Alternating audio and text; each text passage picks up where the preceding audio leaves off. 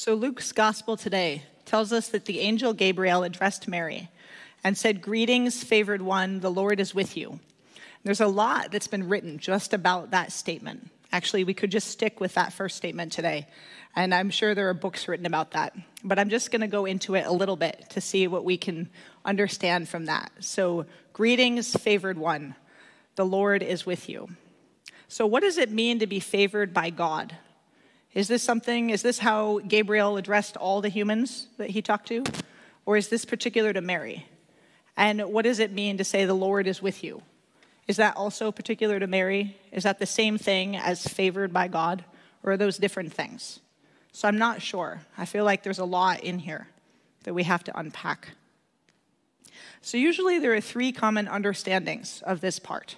So, the first is the idea that Mary was born without sin.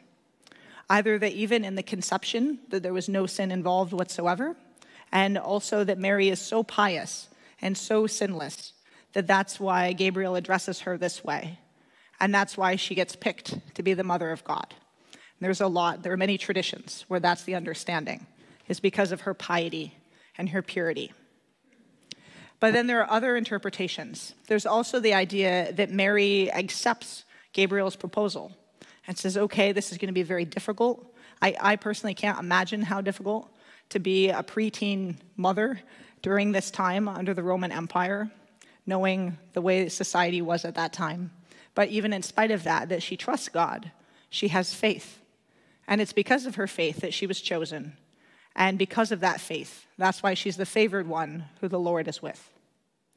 And then there's a third interpretation, which is a bit what Reverend Jeff was talking about last week, which says it's actually because Mary is so modest, because she doesn't have any money, she doesn't come from any kind of noble family or anything in particular. She has no money, she's young, she's going to have to give birth in a stable. And that's why God picks her, because God is always with the poor, God is with the lowly. That's kind of the idea behind the Magnificat. So, those are the three most common interpretations. So, Mary's piety, Mary's acceptance and her faith in God, or kind of just her status as being very poor and humble. So, those are the ideas. So, and I have no problem with any of those interpretations. But there's another one that I'm kind of wondering about. And that's what if there's nothing in particular that's special about Mary at all? What would that be like? And before I get into that too much, I want to say that I recognize that Mary is one of the most beloved women in the world. So she is such an important role model for so many women, for so many people. Uh, she's the most powerful woman in Christianity. This is such an important status uh, for a lot of people who come from faith traditions originally, where there was a divine feminine, she kind of took that over and became the divine feminine for them. And so she's really upheld as this amazing, powerful person, even in a Catholic understanding, as someone who can intercede with God. So if you do something and God doesn't want to talk to you about it, maybe you can talk to Mary and Mary will go and talk to God on your behalf. So, this is someone who's a wonderful role model for women in particular. So, saying, well, what if there's nothing special about her can be pretty controversial. And I don't mean it that way. I don't at all mean to denigrate the importance of Mary. But I'm just wondering for us today, if we just explore, what would it mean if just everybody could be favored by God and the Lord could be with everybody? So, what if there's nothing in particular that makes her different from the rest of us? What would that mean about our understanding of this story? So I think I mentioned uh, when I first started preaching here a few years ago that I grew up Roman Catholic. And so actually, the Virgin Mary was very important in my tradition growing up. So we had several statues of Mary. I think we had one statue of Jesus, but several pictures and statues of Mary, which I know is not uncommon in Catholic families. And we would always say the rosary around the dining table together, where if you ever have done the rosary, where you say 10 Hail Marys and one Our Father, you kind of go around that way four times. So that's a lot of Hail Mary, full of grace, the Lord is with you. So, this kind of thing. You are favored by God, the Lord is with you. And I know from my mom in particular, Mary was very important. My mom prayed to Mary a lot. And I know it was really important for her to understand her as this kind of divine feminine and as someone who is this unconditional, loving mother. So, this is the week of love, and Mary as always being this loving mother, especially if in your own family you might not have that love otherwise. I can say that my, my own grandmother on my mom's side was abusive and struggled with alcoholism. So she didn't have that in her own life. But my mom could pray to Mary and get that unconditional love in that way. So, and I know that really meant a lot to my mom. And I'm sure there are many people who see Mary in that way, as that sign of that unconditional love of God. And that's very important. But I must confess, see, we're going full Catholic here, so I have to confess. that even when I was a kid, even though I had a very favorable experience uh, in Catholicism, actually, even when I was a kid, this idea of Mary as being so pious or so different from us, I found that not as helpful.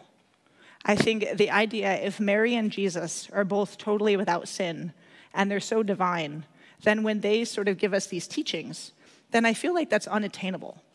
It's sort of like if I want to learn how to do a cartwheel and someone says, Here, watch this video of Simone Biles.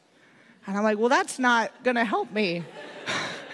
I can't learn anything from that. She's Simone Biles. She's amazing. Like, what am I supposed to do?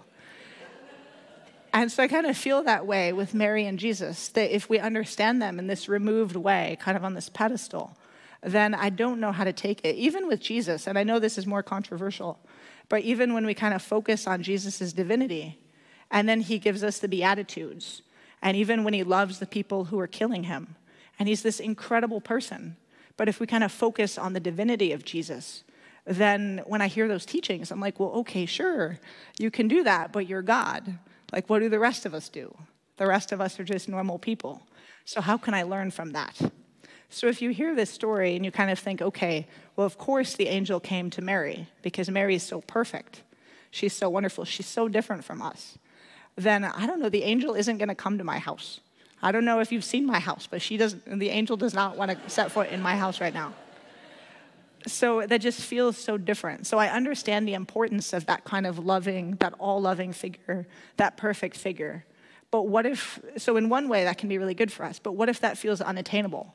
And then we're like, okay, we're going to revere Mary, we're going to revere Jesus, but we're not like that ourselves. What can we do? So instead of thinking that way, what if we think that Mary's like us? So, what if God is with us? What if we are the favored ones and God is with all of us? So, the angel Gabriel, with his awesome voice, could just show up at any of our doorsteps at any time and say, The Lord is with you. You are favored by God. How would that change our understanding of the story? So, do we feel that way? I know this is something that I appreciate in Buddhism, at least in Zen Buddhism, is you don't have to follow even the eightfold path and kind of do everything in a really methodical way. You can have awakening at any point. You can sit down and kind of focus on your practice, focus on your breath, and the divine can be with you. I know I've had some folks saying going into Christmas, what's it like having a Buddhist practice but then working in a church? Does that feel at odds for you? And it really doesn't, because that's how I understand. I guess in Buddhism, it's Buddha nature, but I see that as the same thing as the Holy Spirit. So, that sense when we're quiet, when we take some time in prayer, or when we take some time to meditate and just be silent, and suddenly you'll get this knowledge or this awareness that you don't have normally. Maybe we're too frazzled the rest of the time, but if we sit, look at that we too can be favored. The Lord can be with us. And that feels really true to me. I think that's part of the thing I struggled with in Catholicism growing up is this idea that they're so different. And I was like, I don't know if that's true because even as a child, I know children can have these amazing mystical experiences or these spiritual experiences. And how do you understand those if you think that those only come to people who are perfect or who God has specifically set apart? But what if that isn't true? What if all of us can have that? So then it becomes a matter of not focusing on, like, okay, what am I doing wrong? These other people, they're so great. That's why God visits them, or that's why they have these experiences. That's different than me. But what if we all have that ability to have that? We all love ourselves. So if this is the week of love, if God is the God of love, then I think God loves all of us. They say that you're not supposed to favor one child over another. So even if one of them, I guess, is the Son of God, you're supposed to favor everyone equally. So I don't think we have to strive to become favored by God.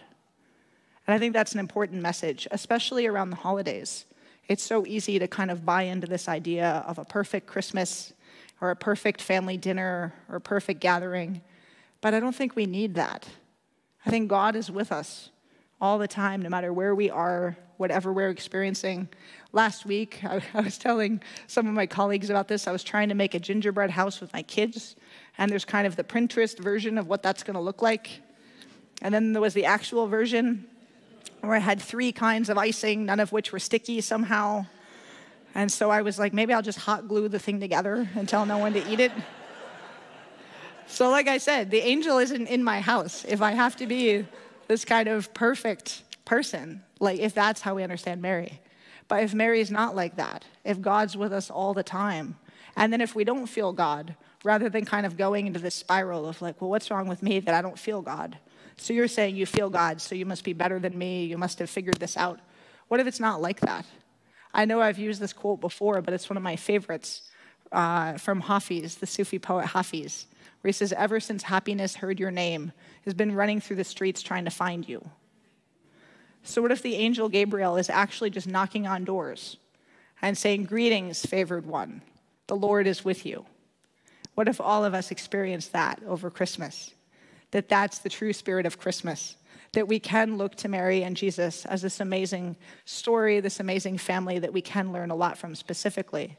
But also that no matter where we come from, no matter what our background is, even if we have no money, even if we're unmarried, even if we have no idea how we're going to spend the next year, that God is with us and always favors us no matter what. And finally, I was joking with another ministry colleague that if you don't have a prayer, you can always just insert a Mary Oliver poem that that will always work. so I just want to insert part of this poem by Mary Oliver, I'm sure many of you have heard, called Wild Geese. And I remember the first time we heard it in seminary, several people were like, oh my goodness, where has that been my whole life? But she says, you don't have to be good.